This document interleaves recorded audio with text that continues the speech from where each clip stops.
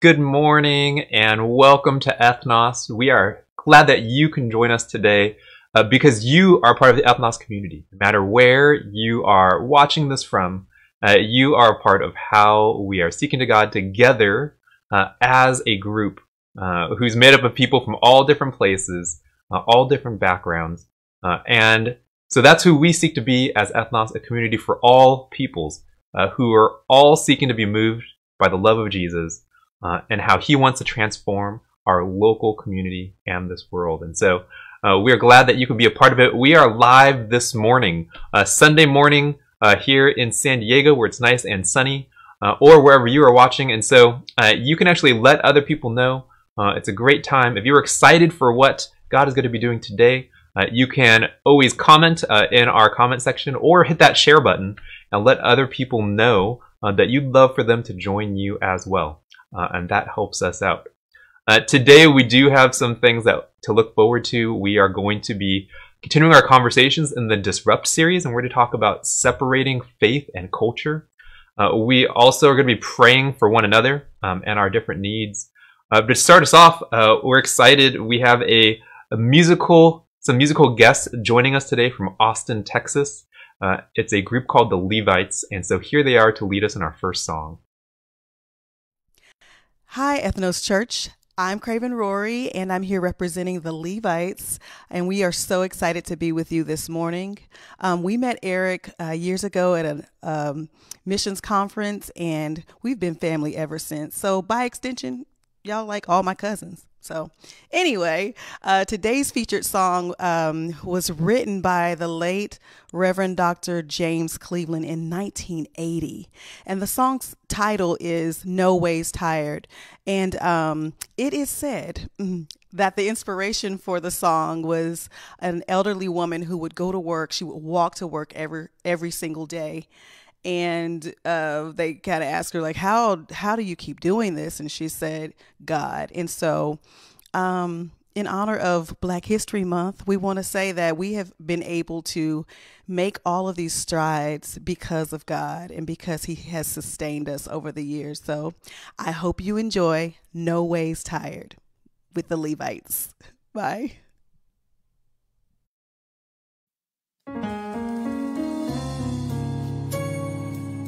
Aren't you glad that God promised to never leave nor forsake us? He's a faithful, faithful God. Right where you are, just lift your hands. He's there with you right now. Hallelujah. Glory to God, an ever present help in the time of trouble. Come on, just say, He's my God. He's my God. Whatever comes your way, He's always going to be there for you. Come on, say, I don't.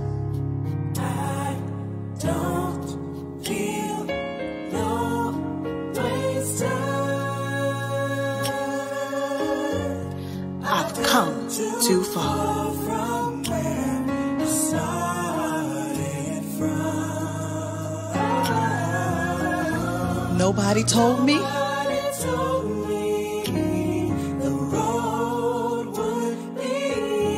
They didn't expect easy, but they were they knew they were walking with the true and living God.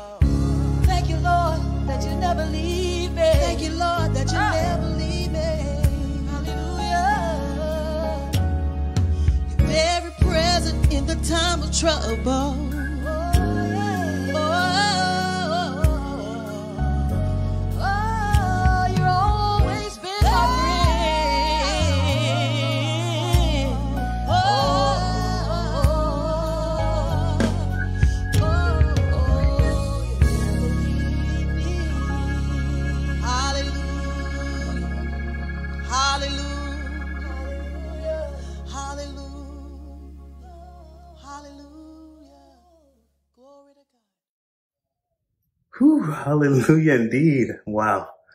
Thank you, Levites, for joining us there from Austin, Texas, and for blessing us with that powerful song and reminding us that Jesus will never leave us nor forsake us. That's a song I actually grew up listening to um, in my church growing up as well as in my home. And so it, it really hit home for me. And I teared up um, sitting here listening to it. Listen, Ethnos, it's been a, a season of difficulty and challenge. And we don't minimize that whatsoever. But neither do I minimize the fact that God has gotten us this far by faith. We've come this far by faith. That's a lyric from another song from our African American heritage and spiritual experience. We've come this far by faith, leaning on the Lord, trusting in his holy word. And so ethnos, I don't believe he's got us this far to leave us. I don't believe God will abandon us. He won't let us go. He, won't leave us.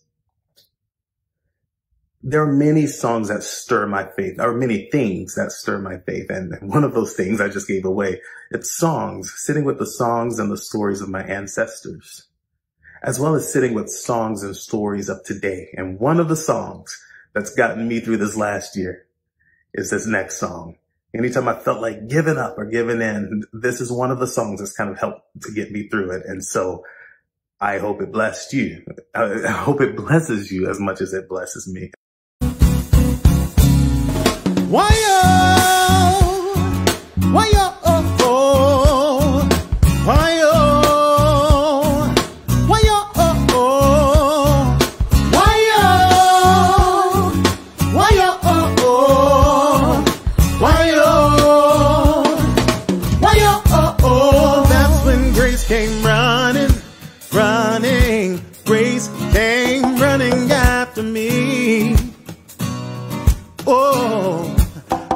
just like a river, like a river washing over me.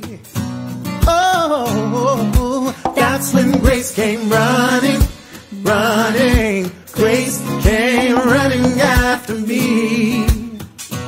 Grace just like a river, grace just like a river, like a river, river, washing over me. Yeah.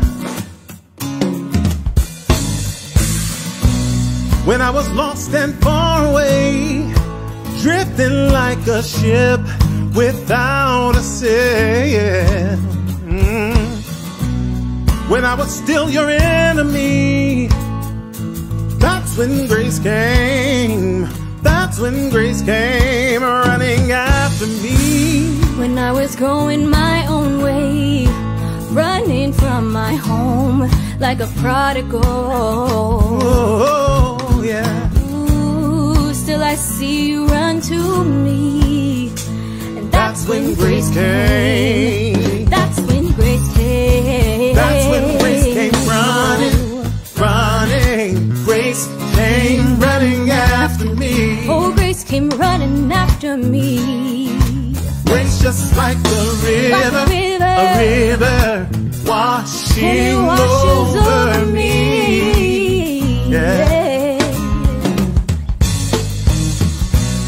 Caught in a love I can't explain.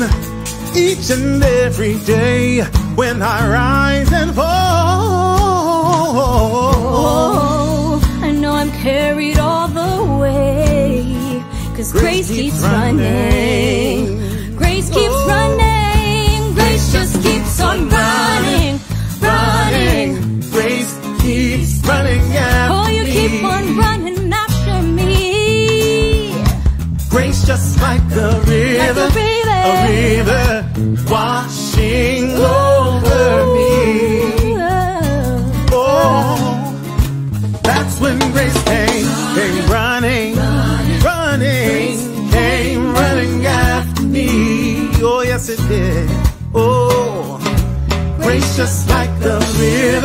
like a river washing over me.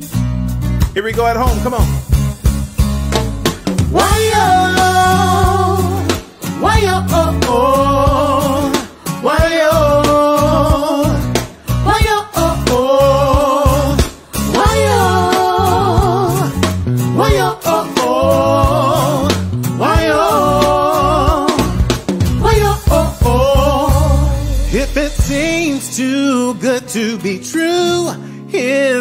Like you.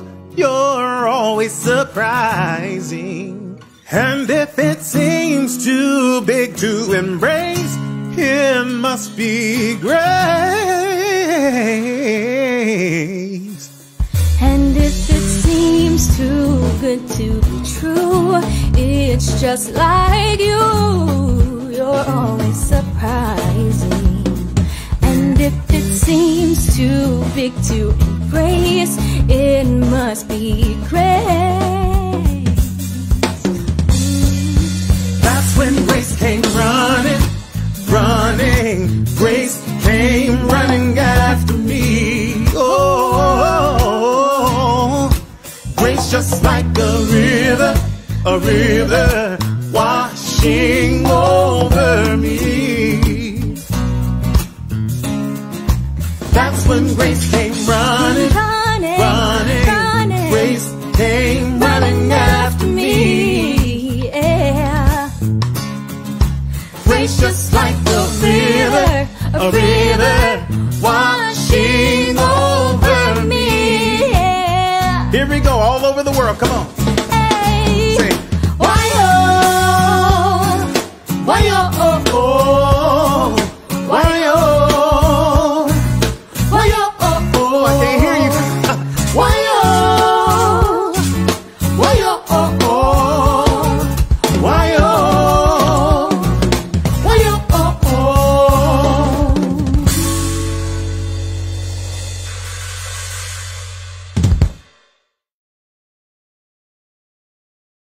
God's love truly is the amazing love that runs after us, that comes after us, that wants us to be embraced by the God who loves created us. Let's join together in prayer. We thank you, God, for that grace. We thank you that you give us our strength, um, that in the times of need, in the times of trouble, uh, you are always there. You are listening. You are present. You are providing. And so uh, we look to you and give you praise because of that. We know that you have done that in the past. We know that you're going to do that in the future. And so we pray that you would help us to keep looking to you for all of these things. We're honored to be able to know you and worship you. In the name of Jesus, we pray. Amen. Well, thank you uh, for singing with us. Uh, thank you for everyone that helped uh, make uh, these times possible. Uh, kids, you guys are dismissed. Uh, enjoy your time with your teachers on Zoom. Uh, for everyone else, uh, we would love to say hi. Uh, and so you can hop on into the comment section on Facebook Live right now, and we would love to hear from you. Let us know how you're doing on this Super Sunday. It's always a Super Sunday when we get to worship Jesus. And if you want more of those songs that you've heard, they will be on our YouTube channel, and so you can always go check it there. Uh, I believe we are trying to put up the uh, whole live stream services on there too. The recordings are also on Facebook. Um, but we would love to hear from you uh, and say hi for a little bit. Uh, if you don't feel like hopping in the comment section saying hi, we would love to hear from you, of course. Uh, but you can also pick up your phone. You can text somebody this morning. Uh, we want to remember that this isn't just a me on a screen and you wherever you're sitting type of experience. We are a community that are known by other people, and so we want to uh, hear from you, see others, uh, and connect with one another. And so you can text a friend or a coworker, uh, let them know that you're thinking about them as well. Um, but I will say hi to some of the people that are in the chat on Facebook today. Good to see all of you guys. Uh, John and Joseph, good to see you. Erica, Tracy, Margot, dancing in the chair. Absolutely, I was as well. Uh, good morning to Joy and Ren and Micah, Alex and Rihanna. Uh, to uh, Kraven, awesome that you were glad and joining us uh, today. Thank you for that song. Thank you for leading us today. Uh, if you guys want to thank uh, Kraven and the Levites, you can just hop on a chat right now and just say thank you. Thank you to, or good morning, let's see, to Eric. Uh, good morning to the Hog and the family, Margot, uh, Luke, Hammy. Uh, good to see all of you guys on here today. To, let's see, who else got on? Annie and Lily and the family. Um, it's great to see all of you guys on. Uh, I always enjoy seeing your guys' names pop up and your little profile pictures because it reminds me of uh, who's in our community. It lets me know that you are on today, uh, that you value community as well. Uh, and uh, we will keep seeking how we can do that uh, during this season. yeah, good morning to Yvonne. Good morning to Ruth and the entire family um, as well. Uh, for today, uh, we have a couple things. I actually want you to stay on your keyboards uh, or phone input sections uh, because we're actually going to ask uh, for you to help us too. Uh, we're going to spend some time in prayer today, and for our prayer time, we always pray for something going on in our local community or our wider community. today, we're going to take some time to pray for one another, and so the needs that you have. And so I would love for you, actually, if you have something that you personally could use prayer for, you or your family, is to hop onto the comment section right now. There's about a 20 second delay before I see it here on the stream, but other people will see it right away. Let us know how we could be praying for you. Um, the you know the comments are on the internet, and so share just what you are comfortable sharing. Uh, but we would love to pray for one another. Uh, usually on a Sunday in person, uh, we would all be getting together in small groups, sharing uh, how we can pray for one another. And so uh, we want to do that here uh, as much as we can. I know we value one another's prayers, uh, that other people know what's going on in our lives. And that's one of the things that we miss uh, during the season is not being able to have just the random times of catching up with one another. It's always got to be intentional through text or Zoom or whatever it is. and so we want to kind of keep up with one another, hear how things are going. and I will read off some of the prayer requests off of the comment section. Uh, as you guys are typing to get those things going, uh, one thing uh, you can pray for me personally, just my prayer request for this morning is uh, ironically, last week I shared about my knee injury, and the day after, I actually hurt it. And so I uh, kind of sprained my knee this week and been hobbling around, so you can pray for healing uh, for that. but would love to hear from you guys about what you could use prayer for this morning. And so you could hop on into uh, the comment section and we will read um, some of them and pray for one another. Uh, we believe uh, that God calls us to lift one another up uh, in prayers. It's part of our communal experience of worshiping God. It's just not uh, me and God and just my prayers with Him. Uh, it's also us as a group, as a family, uh, communally coming to God and lifting one another up. Both to know that we are not alone, but that also we can be part of God's encouragement and strength uh, to each other. And so we would love to uh, hear from you. What are some ways um, that we can be praying for you? So I'm going to hop in here.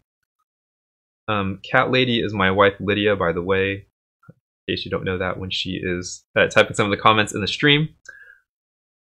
All right. We're going to be praying for uh, Joshua's transitioning back to Wheaton, absolutely, uh, and just uh, finishing out senior year of school. And so we were praying for them, um, absolutely, uh, this week. Let's see. What are some other things that we could be praying for you for? Um, things that you have need for, things that maybe been a struggle or a difficulty lately, things that you could use healing for. Uh, let us know. Let's see. There's another let's see prayer request here for uh, for one of uh, someone's child uh, going through the terribly terrific twos. Uh, and so for the family's adjustment, you could be praying for that. Uh, you could be praying for, let's see, relief of pain. So someone mentions their health um, and their body. Another person mentions, let's see, another prayer request for guidance and trust in God's plan as I'm going through life transitions. Absolutely, we can pray for that.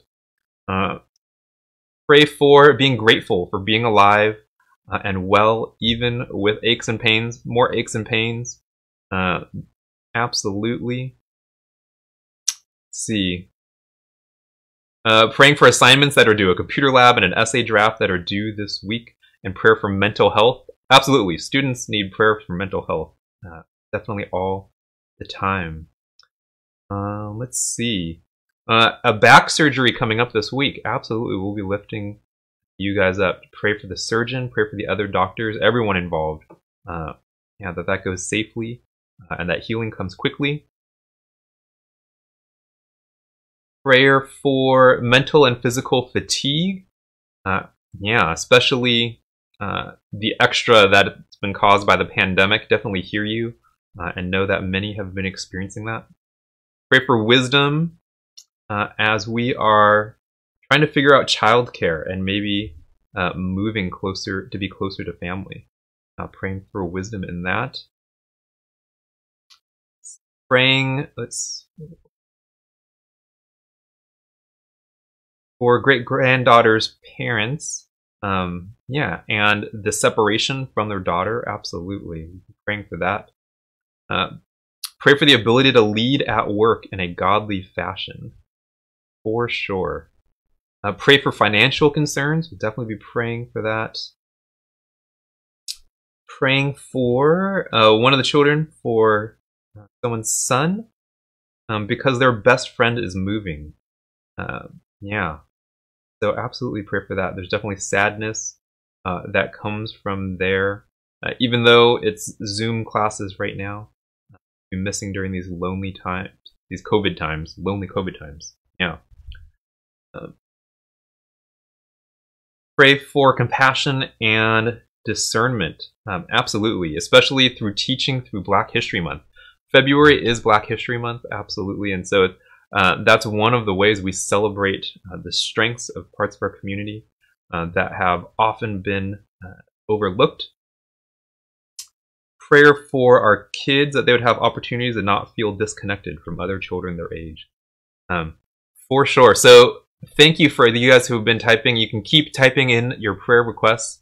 Uh, the best way that you can actually be praying right now, if you are able, uh, is to actually watch the feed for some of those prayer requests. You can pray for them by name. Uh, we try to give a little bit of anonymity sometimes by not uh, mentioning everyone's names. Um, so that you can feel comfortable sharing. But you can hop on there, pray for those prayer requests, the ones I just mentioned and read off. Uh, you can pray for other ones that you might know about that you have. If you are with some other people, you guys can pray as a group, pray for one another's needs. And so what we're going to do is we're going to give some space for that. We're going to give some time um, for you to pray either by yourself or to pray with the people you are watching with. Uh, we're going to lift these things up to God. And the cool thing about us being in all different locations is our voices are going to be lifted up from all these different places at the same time to God for all of these needs. And so let's do that together, and I'll bring us um, back in a couple of minutes. So let's pray.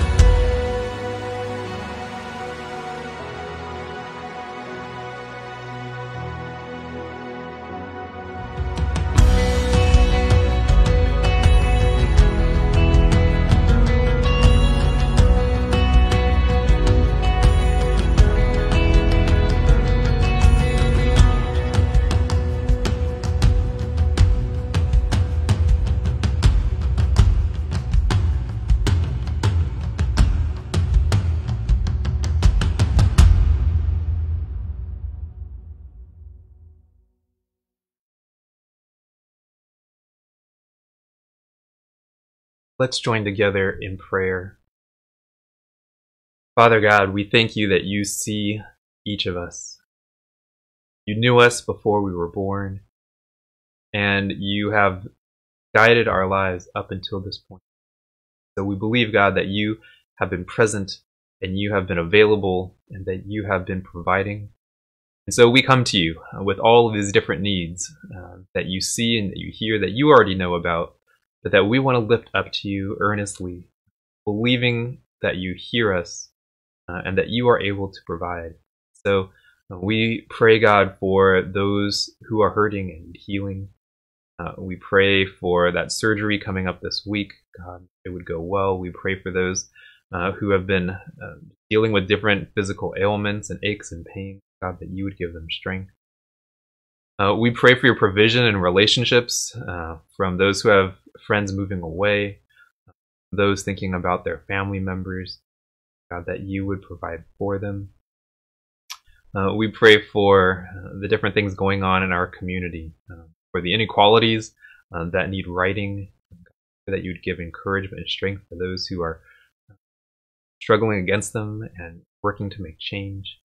Uh, we pray for uh, people just as they seek to be uh, influencers for you in their workplaces, in their school.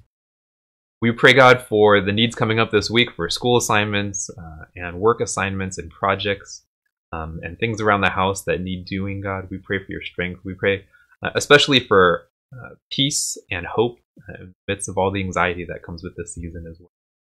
We know it's been hard to be disconnected uh, physically, God. Uh, we pray that you would be present and alive for each person that needs you in every way that we need you. So we look to you, believing that you hear us, asking for faith to keep following you in all of the difficulty. We thank you for what you provide. We pray this in the name of your Son, Jesus. Well, thank you uh, for praying together. Keep lifting up these things. If you missed some of those prayer requests, you didn't have enough time to pray for them all, you can rewatch uh, the live stream later uh, in the recorded video uh, and go through and pray uh, for each person.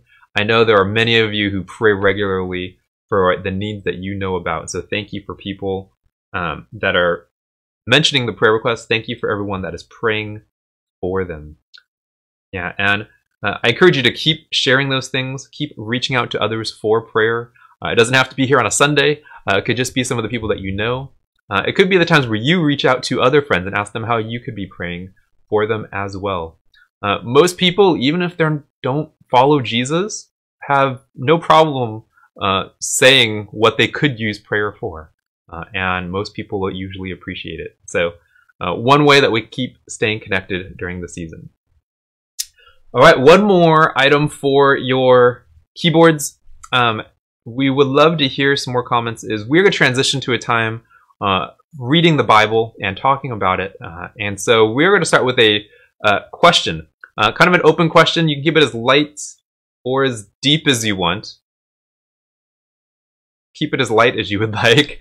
Um, and so, a question uh, today that we'd love to hear some different perspectives on, and I made it both positive and negative. So you can think of it in either direction. Do you have a favorite or least favorite part of your cultural heritage? Uh, we often highlight culture regularly here at Ethnos. And so uh, we have people from lots of different backgrounds that grew up in lots of different places uh, that bring uh, your culture with you wherever you go. And so if you are here in San Diego with us, you have brought uh, your experiences with you. Uh, wherever you live, wherever you're joining us from, uh, our upbringing, our traditions, our beliefs are all an important part of who we are. Uh, and so I'm curious of what are some of the things that you find in your culture that you love, the things that you think about uh, that remind you of uh, the awesome family that you came from or the peoples that you're a part of. Uh, sometimes there's some things that we don't like, uh, maybe about our cultural heritage. I know many have had experiences and journeys like that, thinking about the parts that you maybe wanted to get away from. Uh, and so we're going to be talking about both of those aspects today. And so I am curious uh, to hear some of the things that you guys have to share. Uh, for myself, I know growing up, and so I am Chinese American. Um, my parents uh, were all born here in the United States. Uh, and so part of the, I guess, journey for me growing up was thinking about uh, which parts of me and my thinking and my family were very Asian. and which parts were very American, and sorting through like which parts do I like and which parts uh, do I not like. Uh, there were communal aspects of being Asian that I didn't like. I didn't like when my parents maybe uh, were talking to other friends about what was going on in our family uh, because I preferred uh, for my uh, not secrets, but the things going on in my life to not be talked about with others. Um, but some other people like having those communal aspects. So I'm curious what some of the things for you growing up were uh, either that you look back on now that you're aware of now or that you're aware of growing up. And so I am going to hop onto the comment section and read, see, some of them. Uh, all right, so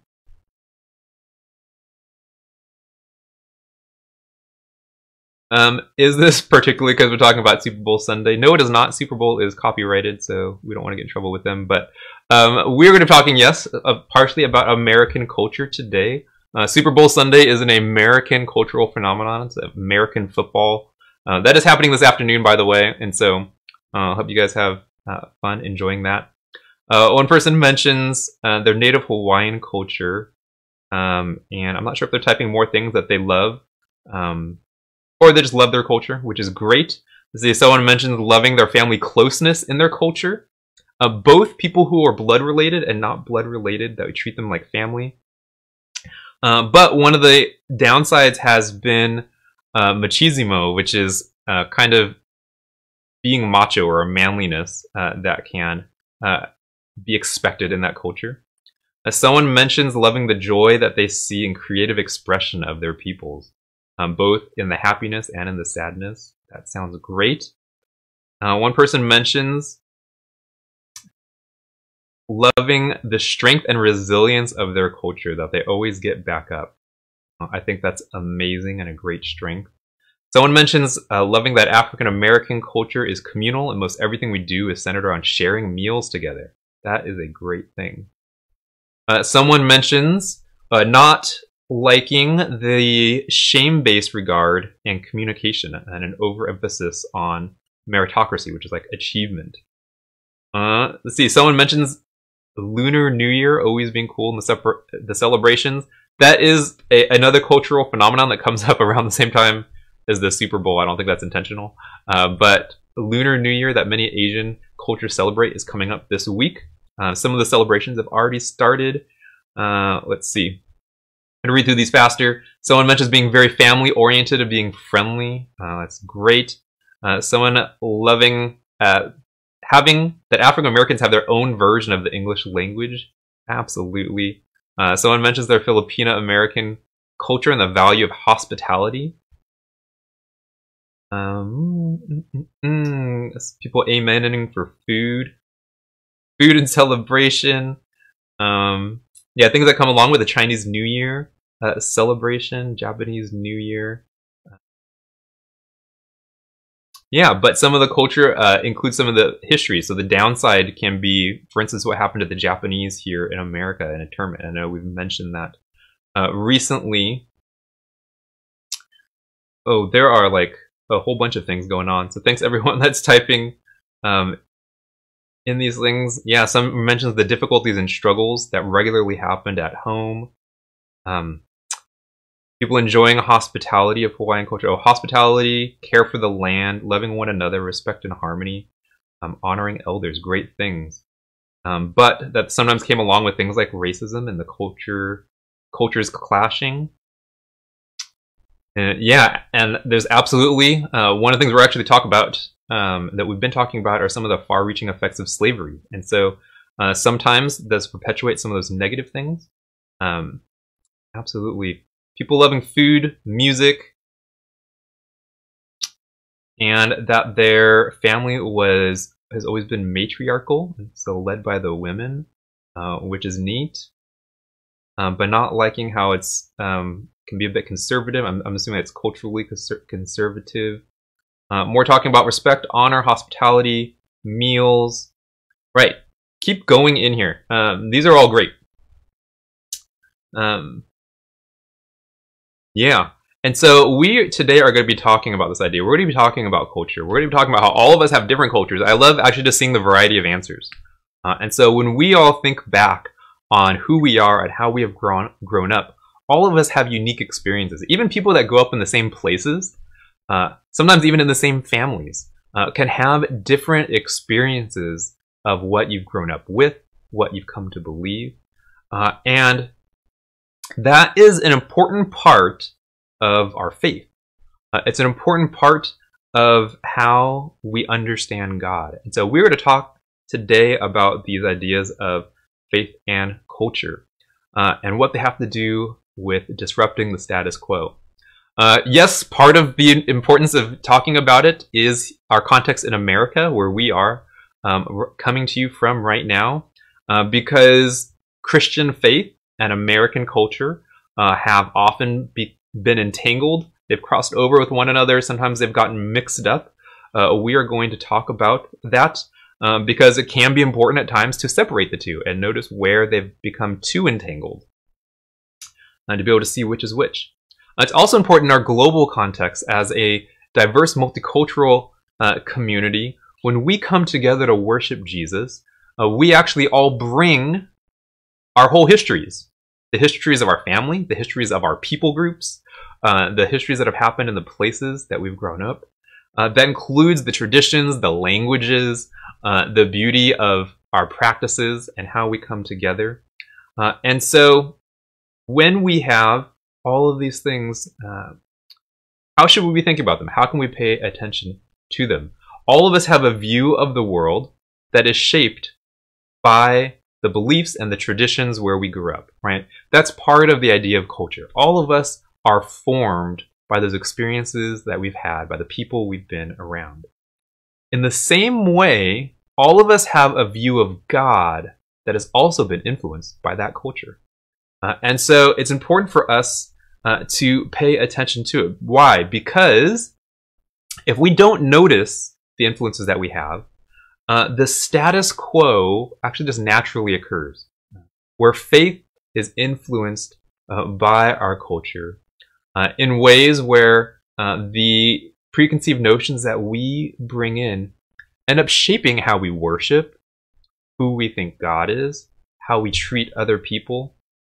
Sometimes these things make it more difficult uh, to practice our spirituality, to connect with God. Sometimes they give us a distorted view.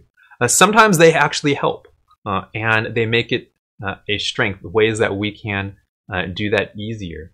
And so we're going to be talking about all of these things. Uh, we are going to look to Jesus as we do uh, to see what he has to say about this topic and why he cares about it. we believe that he does, and we're going to read a story because our cultures are both what make us up, but they're also what guides us in the future. Uh, so they're not only about our past, they're about our present and our future. And so understanding and reflecting on them um, is important. Uh, and so we're going to start with a story uh, from the Bible uh, and a story about Jesus and an interaction, a clash that he has uh, with some of the religious leaders of his time, uh, especially around this topic um, because they were creating some cultural and social norms um, for the people around them to follow. And so, uh, reading our passage today for us from Mark chapter 7, verses 1 through 9, is going to be Andrea and Brian. And so, let's listen in. Mark 7 1 to 9. The Pharisees and some of the teachers of the law who had come from Jerusalem gathered around Jesus. and saw some of his disciples eating food with hands that were defiled, that is, unwashed. The Pharisees and all the Jews do not eat unless they give their hands a ceremonial washing, holding to the tradition of the elders. When they come from the marketplace, they do not eat unless they wash, and they observe many other traditions, such as the washing of cups, pitchers, and kettles. So the Pharisees and teachers of the law asked Jesus, Why don't your disciples live according to the tradition of the elders instead of eating their food with defiled hands? He replied, Isaiah was right when he prophesied about you hypocrites, as it is written, These people honor me with their lips, but their hearts are far from me. They worship me in vain, their teachings are merely human rules. You have let go of the commands of God and are holding on to human traditions. And he continued, You have a fine way of setting aside the commands of God in order to observe your own traditions. All right. And so, thank you uh, to Andrea and Brian for reading that for us. Uh, and so, we have a story from Jesus, and the story is about culture. Uh, Jesus uh, and the first disciples were all of Jewish heritage. So, this is happening in ancient Israel about 2,000 years ago.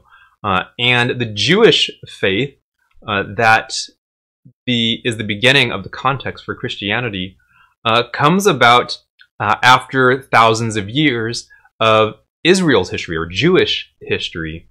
And we see what it has culminated into in this story.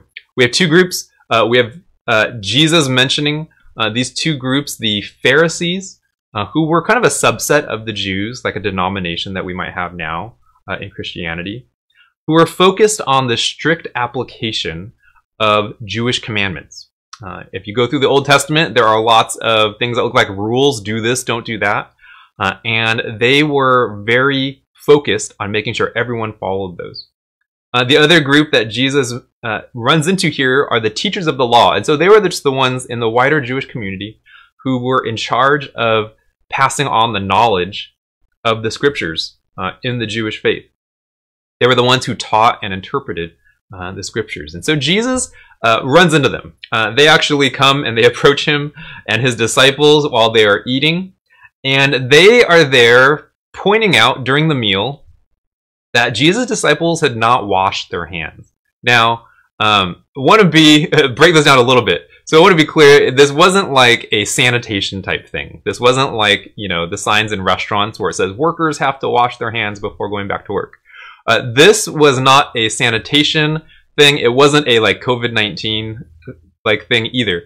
This was actually about uh, Jewish religious practices uh, that they thought ceremonially, uh, uh, the same way that maybe some of you pray before every meal, that you have to, or Jews have to wash their hands before uh, every meal. And so they're pointing this out and calling essentially saying you have dirty hands or like defiled hands. Uh, and Jesus then replies with this. He turns around and he calls them hypocrites. Uh, he says, You guys are mixing things up. Uh, and says that you are so focused on rules that you are no longer truly worshiping God. Now, what is going on here? We're going to break it down. Uh, we're going to explain a couple of things from the passage and then talk about what it means uh, for our wider question that we are talking about today. So, a couple of observations from the passage. Uh, first, uh, what is this? Where does this issue come from? Uh, why are the Jewish leaders here talking about washing of hands? Uh, the washing of hands in verse 3 um, is most likely uh, conflating a specific direction that the priests, the Jewish priests, uh, had back in the Old Testament. Uh, and that direction was that priests are supposed to wash their hands before they oversee the temple sacrifices.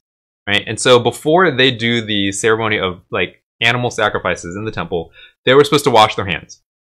That's basically the only real time where the Old Testament directs the people to wash their hands. And what the Pharisees were doing, they were taking this one specific thing for priests, for a specific ritual, and they were applying it to all Jews. That all Jews are supposed to wash their hands before every meal. Uh, and so nowhere uh, was that one of the directions, but they had made it into one over the years. And so I know this is hundreds of years and thousands of years later, but they had taken some obscure specific rule and applied it to everyone and said this is a requirement for everyone to do. Uh, now, how did this happen that way? Uh, in verse 5, Jesus mentions that what they are doing, what these leaders are doing, is they are trying to pass on the traditions of the elders. They're following these traditions, things that have been passed along for years. Uh, and this is how the status quo comes about, right? At one point, one teacher says, hey, yeah, we should be washing our hands, right? Just as the priests are commanded to wash their hands, we should wash our hands too uh, before we do different things, maybe before we eat. And that gets passed on to the next generation, that gets passed on the next generation. And before you know it, they're requiring all Jews to wash their hands before all meals. And so that had been passed along and become the status quo. And that's important because how did that get passed down? It got passed down, those traditions got passed down through those elders, through those teachers. Uh, when we have things that come about and become the status quo in our culture, in our churches, and in our wider cultural context, one question should be how did those things come about? We need to know how did we arrive at them. And in this case, uh, Jesus is pointing out that it was the teachers. The teachers and the leaders were actually passing these traditions on from teacher to teacher. And so the ones who ended up distorting the message were the religious leaders. Um, and back then, I really feel for all the people because the religious leaders were the only ones that had access really uh, to reading the scriptures. Right? They didn't have um, Bibles. They didn't have like I don't know if you know how amazing a Bible phone app is, right? Like you can just tap things and you have uh, in the entire Bible like there in the blink of an eye, right? They had literal scrolls that were kept in the temples and the synagogues, and only the teachers had access to. They would bring them out. Here's how regular people would hear the scriptures. They would bring them out once a week at the gatherings. Someone would read it, and those teachers would then tell everyone what it means. It's kind of similar to how we have messages and sermons now. And so they were completely reliant on what the teachers taught and interpreted. They couldn't go check it on their own. I tell you guys, check everything I am talking about. Uh, you should have your Bible open, have your apps open, right? And you're following along in the scriptures. Uh, they didn't have access to that. They weren't able to do it. So they couldn't question what they were taught. And so when the leaders teach things that are distorted views, right, they turn those things into traditions. Everyone believes it because it's passed down, but no one uh, knows what they're truly supposed to be doing. And so uh, that's how it came about. And that's what leads to Jesus calling it out. Right? Jesus calls that. He, he quotes a verse uh, from Isaiah 29, and he says, You guys are basically hypocrites. Uh, you guys are moving people away from God instead of toward them. So all of these uh, distortions of culture and tradition that they have imposed on the people have actually made people far. So in verse 6 it said their hearts are far from me, right? In verse 7 their teachings are merely human rules. And so they've been doing these things and it's been getting in the way of following God. Uh, these rules have actually created a, a, almost a different type of religion or spirituality uh, that God never intended. It's actually getting in the way of people worshiping God. Uh, these Pharisees were doing things like not only demanding washing of hands, uh, we see other uh, run ins with Jesus' disciples where the Pharisees are emphasizing things like not doing any work on the Sabbath, even if your animal falls down or someone is sick and you need to help them. Uh, there's times where uh, Jesus and disciples are hungry, and so they pick like grain from a field and eat it. And the Pharisees are like, "You're not supposed to do any field work on the Sabbath." Uh, and so they were nitpicking at all of these rules uh, in order to say, "Hey, you are actually not following God's commands by doing all of these things." And so over the years, over the centuries, they end up creating new faith and cultural traditions that were mixed up. Um, these things that were practices uh, in the past that they create more rules for, more requirements to get in the way between people and God. To say, hey, you're not following these commands perfectly. You are far from God. In, implying that they think that they are close to God. Right? And so there's a number of things that we can learn from this. Uh, what do we notice in the story of the Pharisees? What does it mean for us and our faith now? Uh, and that includes the cultures where we exist in and we live currently. That includes the cultural backgrounds that we come from.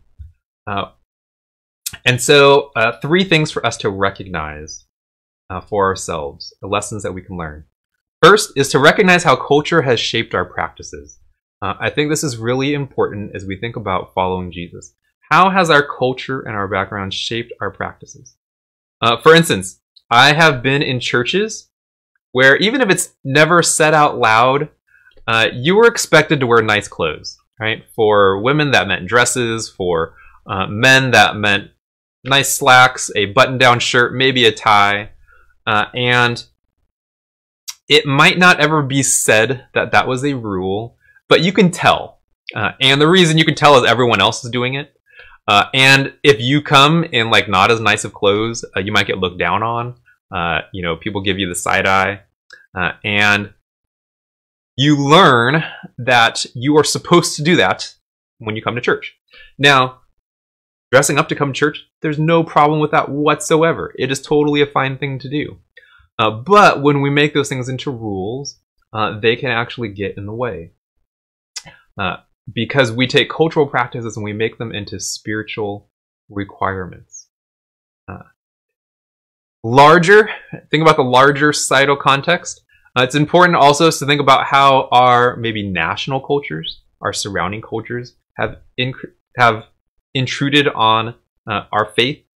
Uh, in America, uh, some things that get mixed up, things like patriotism and maybe American holidays, right, have been mixed up with church sometimes.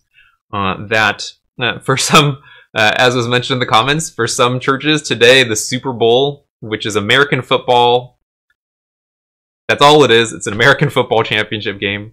Uh, becomes a sacred Sunday, right? And churches uh, make a part of how they celebrate um, together. That includes other holidays too that maybe celebrate um, the nation. I've seen churches with the American flag uh, waving inside of the church. Uh, maybe you've been in a place like that. And there's these things that end up getting mixed up. Are they supposed to be together like that? Uh, the closest equivalent I can think of um, for mixing up American culture and church tradition uh, is if like the early church back in the day celebrated the Roman Empire, right? And like had days where they were like, yes, everyone should follow Caesar and celebrate, um, yeah, this place that we are a part of. Uh, even in, and they never do that, by the way. So this, in the Bible, they never do that. Even when you think about the Old Testament and the people of Israel, uh, they never did that as well. They had holidays, yes, they did have national holidays, but those holidays were never yay people of Israel holidays. They were yay God is good holidays. Uh, they were holidays that celebrated God's saving acts, His provision, the ways that He had guided them. And so that includes all of the Jewish holidays that are still around um, today. And so these just different aspects of our surrounding culture, we need to be paying attention because they can shape our spiritual practices and our habits. Right? Western ideas of individualism and personal rights uh, have made it so that one of the main ways, at least in American church, that uh, our spir- spirituality is regular practice is to have uh, an individual personal prayer time, right, and reading of the Bible. And I think those are good things, absolutely. But it can miss on some of the communal aspects of faith and worship. Or if you come from maybe some other cultural influences, maybe your country of origin, uh, you have some practices that have become part of your faith traditions. You might have grown up in places where, uh, for instance, uh, prayer is very similar to meditation or um, some other practices in, in mysticism. Or you might have come uh, from a culture or tradition where superstitions uh, affect the way that we worship, maybe by having uh, figurines and icons, uh, or um, yeah, by thinking about the physical spaces that we are in. And so it's important for us to recognize that our practices, the way that we live out our faith, can be affected uh, by our backgrounds. And pay attention to which things does God call important and which ones does he not, that we should hold a bit more loosely. Uh, that includes uh, the second lesson that we can recognize that we should recognize how culture has shaped our beliefs. So not just our practices, but what we believe about, especially who God is. When we view God from only our own worldview, we actually miss some of the beauty of the gospel. That's why I love the multicultural church. That's why I love hearing about uh, your guys' different experiences uh, and the different ways uh, that we that you understand God, because uh, we can learn from one another. Uh, I do a lot of times uh, talk and think about kind of three different cultural paradigms. talk about three different things that affect our beliefs: guilt, shame, and fear. some of us maybe come from the type of cultural background um, you know, steeped in Western individualism, focus on rules, personal behavior, personal responsibility. And those things can be great, but they can twist faith or an understanding of God. Uh, that's a lot of times where legalism comes from.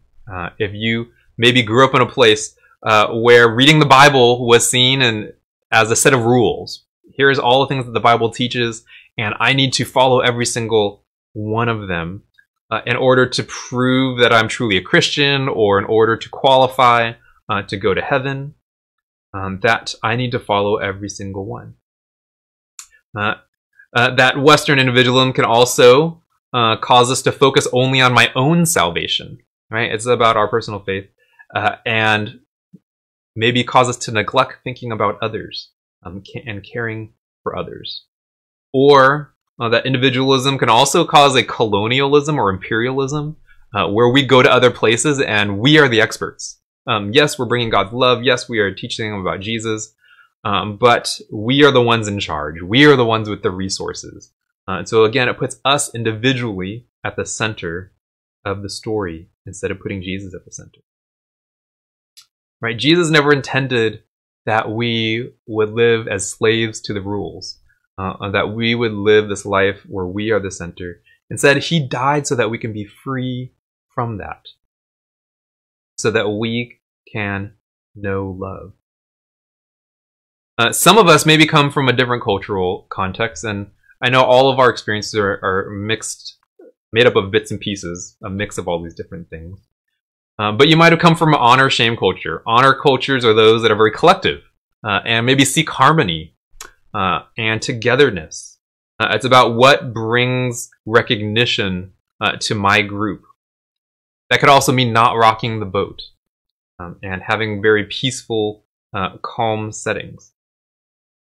And those, again, can all be good things, um, but they can maybe change or alter our view of God and the gospel um, because they can tend towards a very shaming view of sin, uh, where people who appear to have it all together are celebrated. Those are the role models.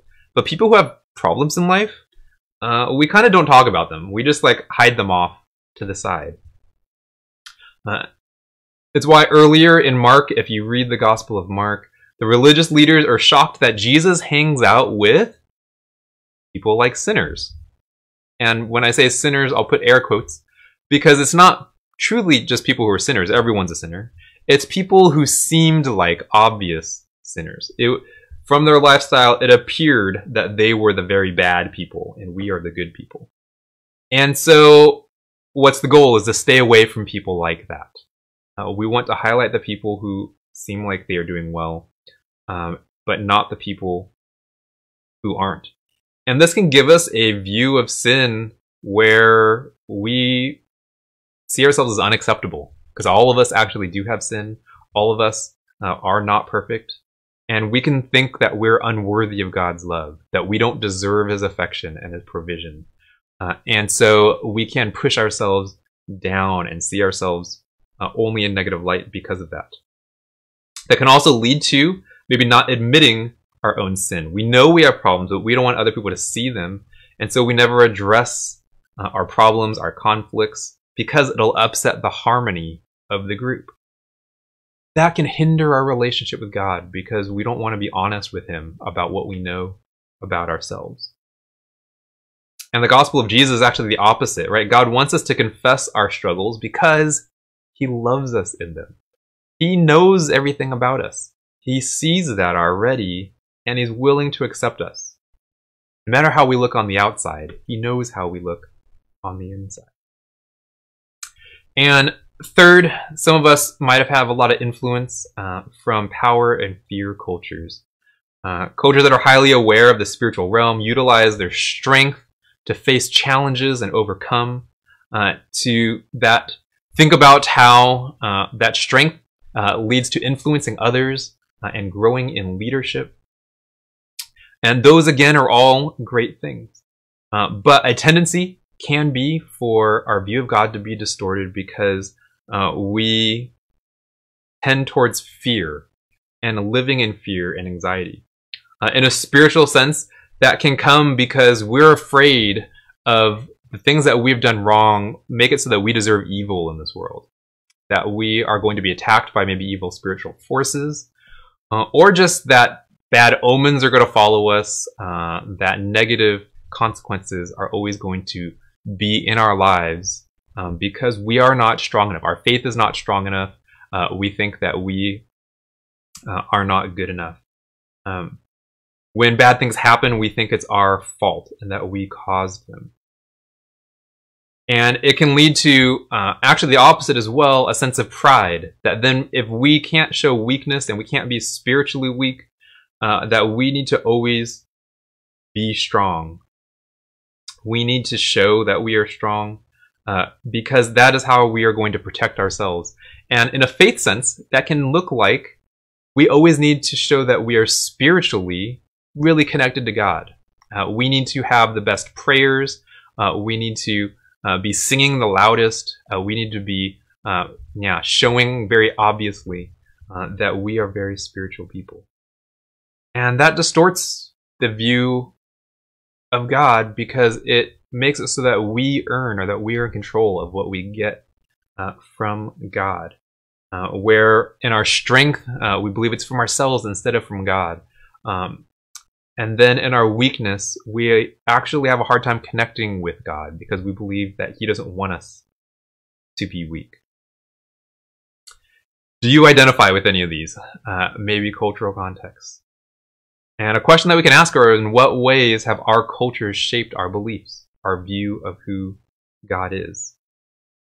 Uh, and it's something to be aware of because when we don't, again, it becomes the status quo. If we don't pay attention to what is influencing us, uh, we just go along with the status quo. Um, we might end up telling or living or perpetuating that story of God that is shaped more by our culture and our backgrounds than of who He truly is. But that's not the end of the story, um, because culture influences us and our view of God, yes, sometimes in negative ways, but also in positive ways as well. And so the last uh, bit I want to mention um, is that I think it's also important for us to recognize how culture has shaped our strengths. Many of you guys actually highlighted these things already, right? At Ethnos, we talk about uh, culture and all of the diversity that God brings into the body of Christ what makes us unique.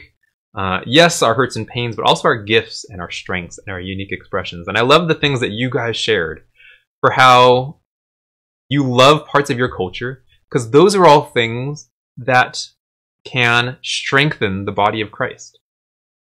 Right? All those positives can be things uh, that God is using to make you unique, to bring a unique perspective, and to teach the rest of us in the body of Christ how to be better at loving one another and loving God.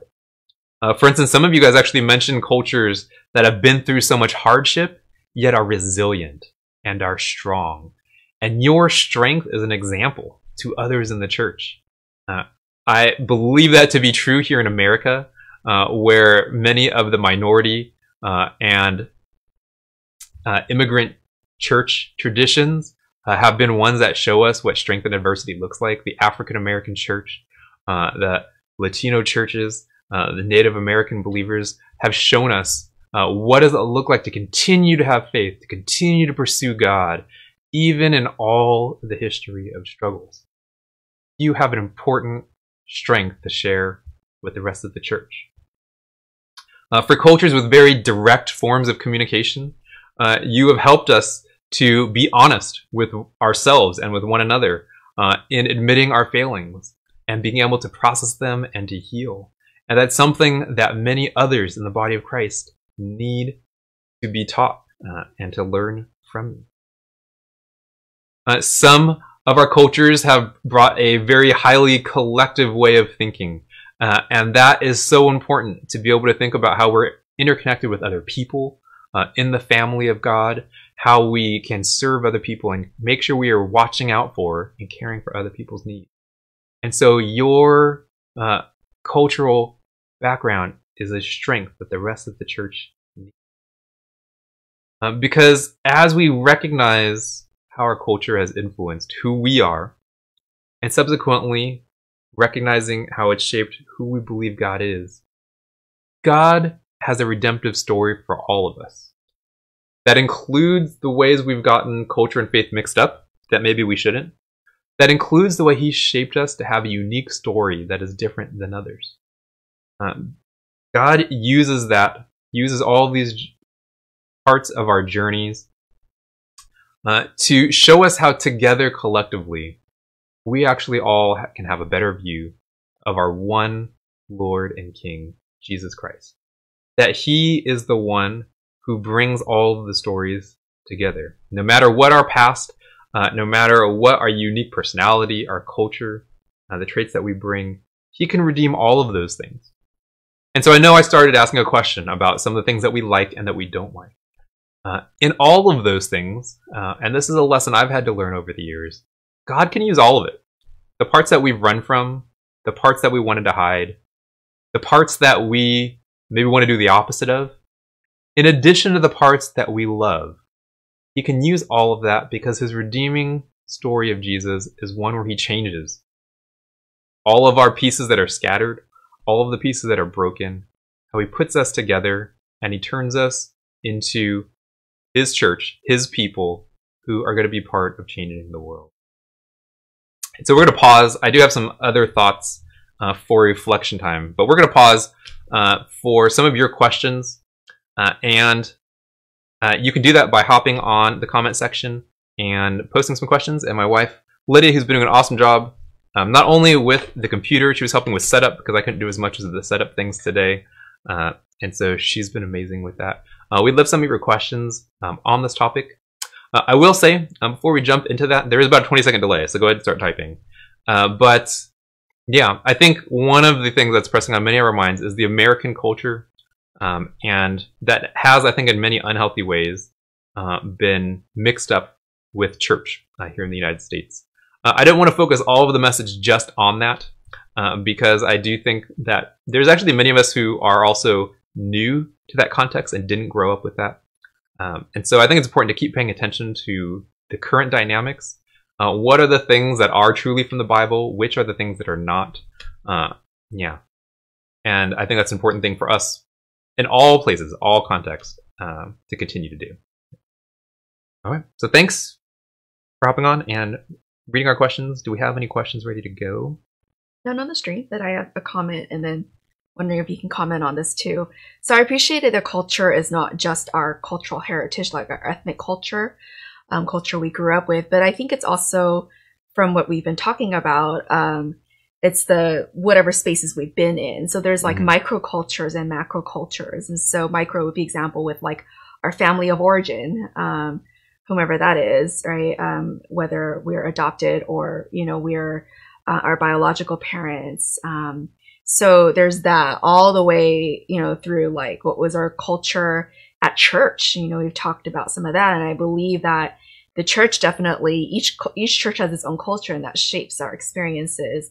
And then there's like systems um, too, like the church as a system, um, and um, educational systems, and there's just so much there. Um, and I I think that um, for me, it's like a lifelong journey, like just trying to piece together and, and see both the positives and the negatives that have contributed from um, the micro and like a meso, the medium, and then the macro systems. Um, and so the part I, I was wondering um, about that you could comment on is how um, and how how do the different systems interact with each other and sometimes maybe even amplify as a result right you know you and i have talked about this a lot in our conversations um, but then also like how does that impact how much of a hold perhaps that you know a particular cultural view um, can have Yeah, and it's a great question. Um, thanks for actually helping define more clearly uh, culture. I didn't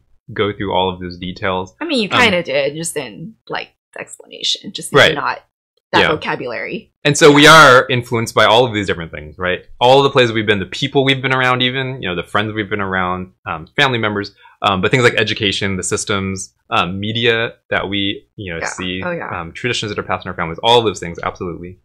Um, yeah, and it's interesting because uh, you know you talk about multiple of those things kind of adding together and amplifying one another, and that's absolutely true. So there's parts uh, that what we come to believe isn't just shaped by, uh, let's say, our parents tell us to believe something and then we believe it. Uh, maybe, you know, partially.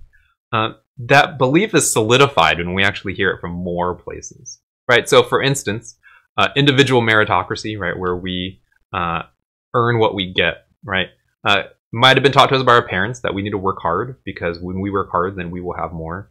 Uh, but that might be also then affirmed by other parts of our culture. Our schools might teach us that, right? Because they give us grades. Uh, our media teaches that, teaches us that. Maybe the government, uh, right? Because if you worked hard, then you don't need to be on unemployment, or you need you don't need you know, insurance for this or that. You can like earn it on your own.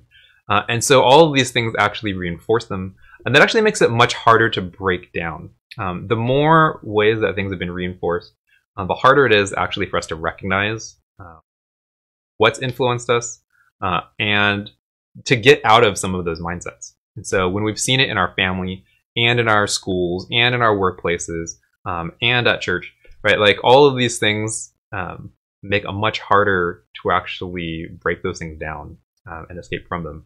And it's not that all of them need to be changed, um, but even recognizing that they are there. It's like a fish Mhm. doesn't recognize it's in water. Uh, we don't recognize a lot of times the culture that we are in just because we're in it. And it is the status quo and it's all that we know. And so uh, I do think it's interesting because part of the way that that breaks down, um, I think actually does happen as each person reflects. There is an individual part of that process that we recognize for ourselves. Hey, yeah, what are the influences I've had, uh, and what can I do about them? Um, but they can, it can take sometimes much longer to actually break down what has taken maybe a shorter amount of time to build up. I also think too, like that if there's conflicting messages um, in whatever you know system we're talking about, um, they can get very um, confusing too. And so, especially, I, I think for me, just speaking of experience, just like working out of a particular culture, um, but then still having another culture that's just also very powerful. And so, Yeah. it's just it's it's um it's it's hard. Yeah. Yeah. I'm, I'm trying to use vocabulary without cursing, but like, it's it's really hard. It's really confusing. Yeah. Yeah. And that's, um, for in, for example, one example of that. That's a typical story of, let's say, uh, children of immigrants, right, into a new country because you have uh, some cultural influences from your family and your and that country of origin, um, but also from the new culture uh, that kids are growing up in. And so uh, those messages can conflict and they can be hard. They lead to some a lot of identity questions about, um, for me, right? Am I more Chinese or am I more American? Uh, which parts of that am I supposed to follow? Uh, and so recognizing how we process those things is actually really important too.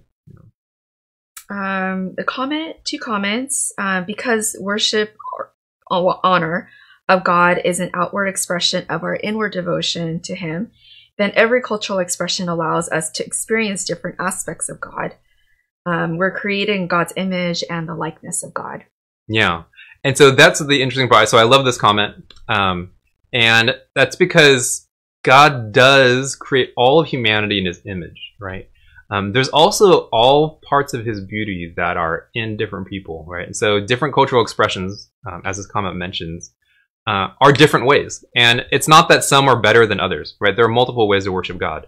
Uh, for example, if we think about music and some of the ways that we um, sing different songs, uh, hearing a song uh, that comes from a uh, black gospel um, setting and singing songs that come from Middle Eastern persecution and singing songs uh, that come from Latin America, like all of those give us a different uh, picture or another part of the picture of how we can worship God.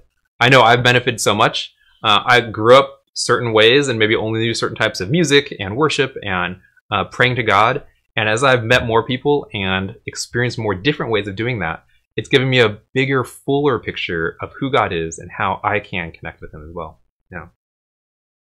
Um, I'm thinking that the traditional American arrogance and belief that everyone should believe as we believe, maybe the dynamics that creates a world where people aren't allowed to have differing opinions or views, is destructive to the former way of healthy debate and ultimately in mixing these thoughts sorry into mixing these thoughts into a religious realm that says um, that religion has to be practiced in ways that don't line up with biblical teaching Yeah, absolutely. Yeah. And so one of the dangers, um, and probably one of the main dangers uh, that uh, we saw both in the Jewish context, right, for Jesus as he was talking, uh, and that we see somewhat today, is that if one cultural paradigm for worshiping Jesus becomes the dominant, right, it can turn into a situation where then it's an, imposed on everyone, or everyone Mhm. feels that they have to follow that way Yeah. or see things only for that lens. And so one of the things I've been doing actually uh, in recent years is trying to read more interpretations of the Bible that don't come from just American and European commentators, right, and theologians? Uh, how do different people view the Bible in different parts of the world? Um, that can include when we think about music. That's one reason we intentionally uh, sing songs that don't just come again from Western context. And these are important um, to highlight because uh, I recognize, I fully confess, like existing in America has been a dominant culture in this world, right? You can see it in movies, songs, celebrities, right? They're known around the world. And that actually can be dangerous. Uh, for example, uh, I've been in other places uh, in this world where we were singing, worshiping together with people from other uh, ethnicities. And when it came time to sing, we were singing American songs. Uh, they might have been translated into a different language, right? They might have been uh, kind of in a native language, um, but they were still the songs that were written in the Western world. And that can be helpful, right? That um, people are learning those things, but the same, you know, 20 songs that play on Christian radio in America shouldn't be the only songs that people are singing around the world. Uh, and so, yeah, we need to pay attention to how what we do, um, yes, is an expression of our individual backgrounds and faiths, um, but doesn't need to be the only way um, that other people, um, yeah, live their faith. As I grew up in a faith tradition that highlighted the emphasis of scripture defining who God is, but not so much about how we can learn from believers who are different from us. In fact, even antagonists to that idea. So it's so interesting to me, interesting to me that those ideas work well together, and I'm still getting used to that. Yeah, and it's also not something that um, one we do like with bad intentions, right, on our own. Um, we actually only know what we know. We can only view the world the way that we view the world, right? Uh, and so it's not our fault that we haven't like changed that. Um, what we can do is seek to learn and uh, from others and become more aware. And so, for example, there's some paradigms. For instance, when we read the Bible, absolutely, we should be getting our view of God from the Bible. Um, but growing up, I actually mainly had a a Western uh, view of reading the Bible, and so my view of relationship with God, who God was, what the gospel is, all of those things uh, were framed in that Western individualism. Um, and so that's why personal relationship with Jesus makes sense. Um, and yeah, I need to spend time with God, and it's about my relationship with Him, nobody else. And there's aspects of that are, that are true, but it misses parts of the Bible that talk about the people of God, um, the communal effects of sin, confessing as a nation instead of just confessing as me individually. Um, yeah, and so it's not even that we're necessarily reading the Bible wrong. I think we're just missing parts um, sometimes, mm-hmm. and so that's why hearing more stories and seeing more perspectives, I think, gives us a bigger picture. Um, question: Do you have um, some suggestions for non-Western commentaries or commentators? I am trying to track more of these down uh, in terms of things that are like printed so that other people can have access to them. Um, I don't have great resources right now. I have actually still been trying to ask friends and find more of them. Um, I don't have it in front of me either, but if you send me a message, or maybe I'll go back later and see whose comment that was. Um, I can see some of the things that I have um, been looking for. Uh, but for example, one thing that you can look into um, is if you grew up in, or you mainly come from a background of like Western, uh, American, and European Christianity, uh, looking into something like liberation theology. Liberation mm-hmm. theology comes out of uh, many of the oppressed peoples, um, the African American church, uh, Latino churches uh, in the Americas as well, uh, where yeah, this theology born of struggle. And we talk when the Bible talks about hope and freedom, it means something different um, than it does uh, for someone who's just thinking about getting my ticket to heaven. and so yeah, that's one aspect. I think seeing the other native expressions too, like how if you have friends in, let's say, in China, like ask them, how do they live out their faith? Um, and how do they see God? That might be different than how you might. And so uh, it's kind of coming from collecting uh, those different perspectives from different people. Um, I had a friend who, uh, a good friend actually, who um, talked about knowing somebody who went to an indigenous seminary and um, I wonder if you know some of the resources could come from there. Maybe yeah. looking up indigenous seminaries and seeing what kind of literature that they have um, would be a yeah. possibility. Yeah. yeah, and what I'm finding is uh, it's just lagging a little bit because these things haven't been highlighted before. A lot of the world has been had been using uh, Western resources, Um, and so, like the vast amount of stuff that's like published and available for print and that you can buy. Um, and so that's why I've been working on tracking some of those things down. Um, some of them they just didn't have the resources maybe to. Someone might not come from a context where they can sit down and take time to like write a commentary, right? or and so it's not in print, but it's in sermons and messages. And so that's another way that you can get up to. Um, with the internet now, you can look up recordings, right, of other people's um, how they teach and the things that they talk about. Um, they might not be all in book form, and so I think uh, hopefully that's catching up. There's been more of a call from some people um, for those types of resources. Yeah, I think too um, from our own in our own practice, like when we learn something or when we read something, right, or even doing like devotions, for example, um, reading, you know, like um, the Bible, and just just stopping and asking ourselves, okay, when I read a particular passage, what is what am I thinking? What am I feeling? How is that impacted by like the context from which I, you know, grew up in or was surrounded by, and interactions of those different systems?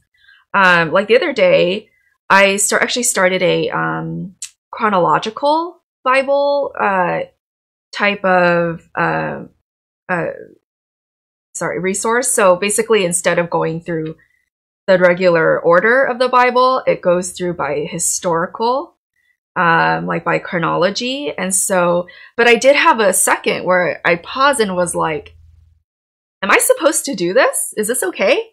And then I realized that was like impacted by just what I've been taught of how you should read the Bible, right? And I mean, granted, I'm not saying like go and just be like, whatever, you know, and do whatever you want. But I mean, I think that there's some merit to just kind of like challenging some of those assumptions. And Yeah, I mean, yeah. And, and just kind of like going for it. Um, yeah. And when we do that, there's always some level of like disorientation where we might feel um, things are off a little bit, and that's a little bit jarring, right? Because especially when we're talking about the level of beliefs, something that we always believed. Um, so, for instance, uh, you deserve or you get what you deserve, right? Like uh, that's a belief that might be core to a lot of the things that we do in life and the way that we view the world. And so, when we start to think, well, are there other ways to view the world? Um, that kind of like upsets our entire framework of like how we've thought. Yeah. And so, um, it's not a simple process. Uh, it's a lot of reflection. I do a lot of grieving too. Yeah, and grieving Mhm. and realizing, hey, maybe the way that I was brought up um, isn't the whole story, or isn't the you know the best way to uh, to approach all things um, in every way. And so uh, it's not to throw it all out. Um, Mhm. There's lots of good stuff in there, but sometimes we can kind of move around and jerk in that reaction where we're like, well, I need to get away from that stuff. We go completely opposite of that. Um, I would say keep exploring with community. That actually helps us stay grounded as well, um, because otherwise we'll just go on our own whims. Yeah. Going on, maybe one last thing. Yeah, experiencing God through just one cultural lens could reduce the beauty and vastness of who He is. Um, that's probably why I love God so much more after learning different practices. Yeah. Um, I love it too. I've learned so much from you guys and from um, people who come from different traditions. Uh, you know, I believe that's what Jesus wants and intends. Uh, the picture of the body of all of the believers at the very end of the Bible is one where people from every tribe and tongue and language are together worshiping God. Uh, and so that means all of our worship, all of the languages we worship in, all of the ways that we worship are all going to be a part of that expression. Um, you know, I regularly uh, talk about how you know none of us probably has things 100% right, and so that means that there's things that we can learn from everyone uh, in contributing to that picture. Um, and so you guys do that in the different ways that you seek uh, to follow God and to live out His love in your community. Um, yeah, so let's keep doing that together. Uh, thank you for the questions. Um, I will try to follow up um, on those couple of things that we mentioned. Uh, as we continue to reflect, though, uh, we are doing so today. It's the first Sunday of the month, and so we're going to be doing so by taking communion. So, uh, right now, um, you can go run to your kitchen and grab something that can represent the cup and something that can represent the bread, uh, because we're going to be taking together um, online virtual communion. Uh, and some of you guys I know like that because you get to choose what you're eating. Um, but as we do that, we do so um, recognizing how it brings us together uh, in Jesus. Uh, one thing actually I'm reminded of today, right? Western culture often focuses a lot on forgiveness and sin. Uh, and we can think about that in our communion meal. And it's certainly a big part of it, right? Jesus uh, died so that we can have forgiveness of sins. And that's part of what we are remembering today. But focus on only that part of the Bible can actually miss some of the imagery.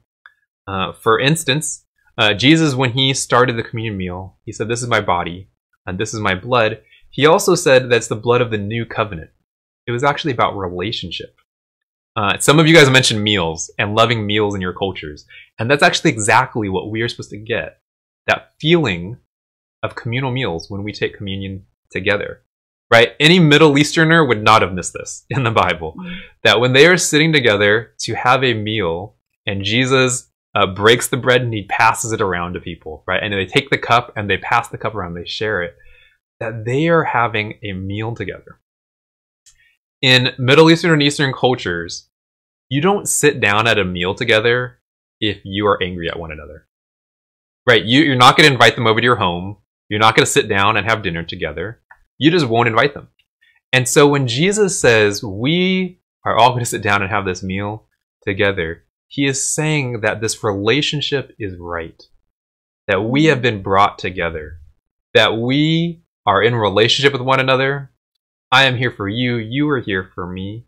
Uh, and so there is a communal aspect to communion, right? That's where the word commune comes from, that we are relating to one another. Uh, and so when we talk uh, in today's day and age in uh, multicultural world about everyone having a seat at the table, right? Jesus started that. He said, no matter who you are, no matter what you've done, no matter where you come from, you are invited to join in this table. And so we are going to take the communion elements uh, together today. And in doing so, we recognize that Jesus made it possible for us to have a relationship with him and that he brought all of us together at the same table. I know it's virtual today, but all together at the same table to be in relationship with one another, that we can have right relationships with one another, that we can be redeemed together as a community. And so uh, I'm going to invite you to take the bread because uh, Jesus took the bread and he broke it and he said, This is my body that is broken for you. Do this in remembrance of me.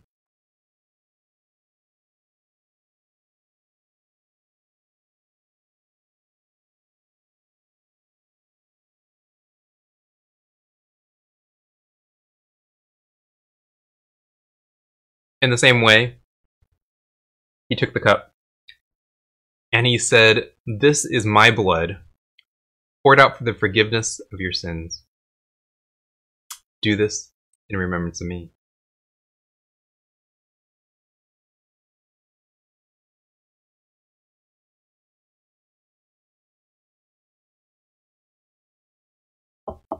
For as long as we take bread and take of the cup, we proclaim Jesus coming, that he came and that he is coming again. And so we get to celebrate that together. We're going to continue to reflect in a final song uh, where we recognize that over and above all of our individual cultures, our countries, the places we come from, the places where we live, that Jesus is the King, the one who is united all in him. And so let's sing together.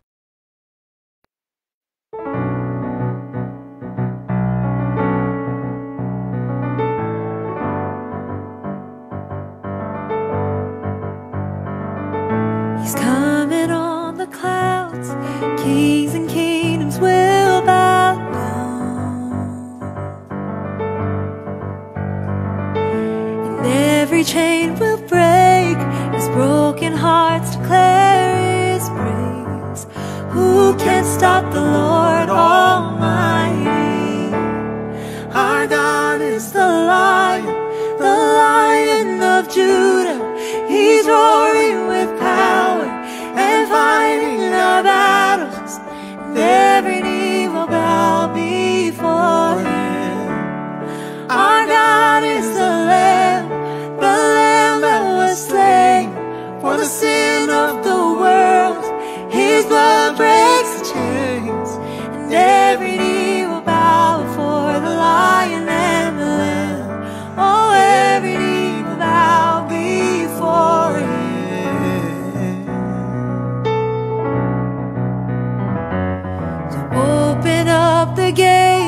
make way before the King of Kings. Our God who calls to saved is here to set the captives free. For who can stop the Lord Almighty? Our God is the lion, the lion of Judah. He's roaring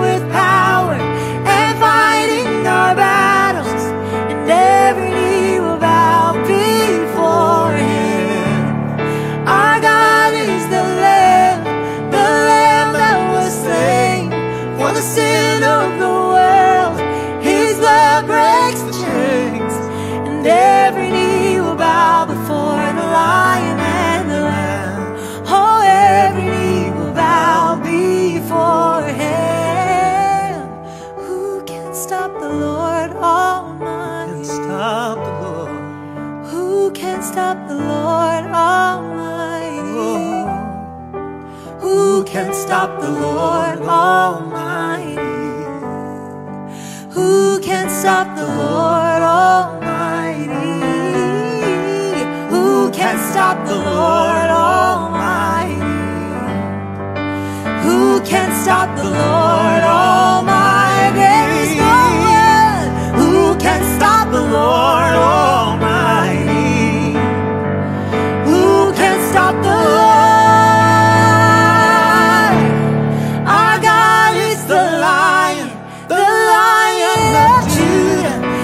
He's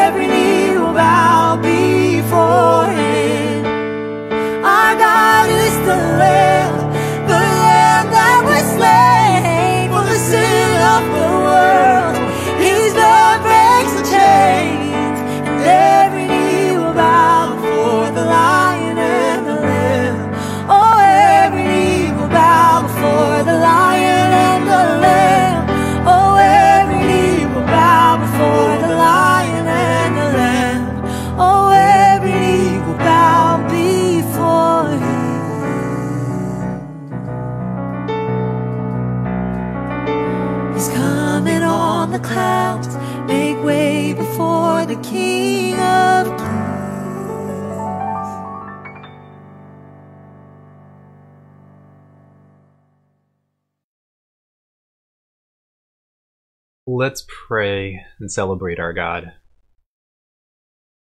You are the King of Kings, and so we make way for you to come into this world.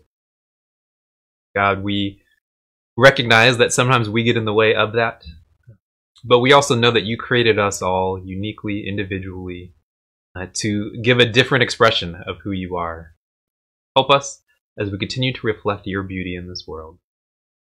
We want to see you high and lifted up. We give you all the praise. We give you all the glory. In Jesus' name.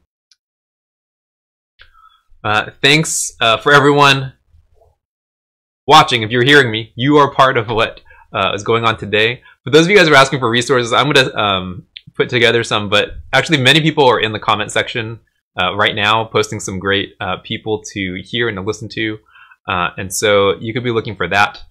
Um, and yeah, keep seeking out um, just how other people are doing things. Uh, I think one of the neatest things uh, is just seeing how other people worship, worshiping with others. Uh, you can do that actually very easily right now in the live stream season, right? Uh, you can go click around on other churches and see what they are doing. Um, yeah, experience those things. Uh, thanks for being a part of this because you guys are a part of how I grow, how we can all experience together in community. Uh, and so, hope you guys have a great week. Have a super rest of this Sunday, uh, and we will see you next week.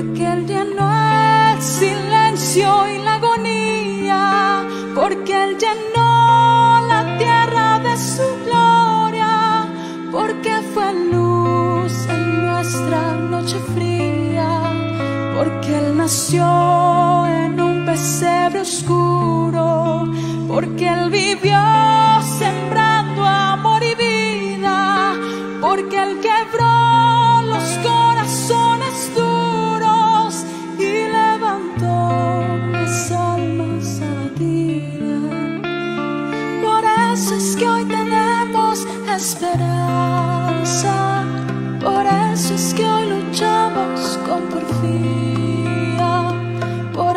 los que hoy miramos con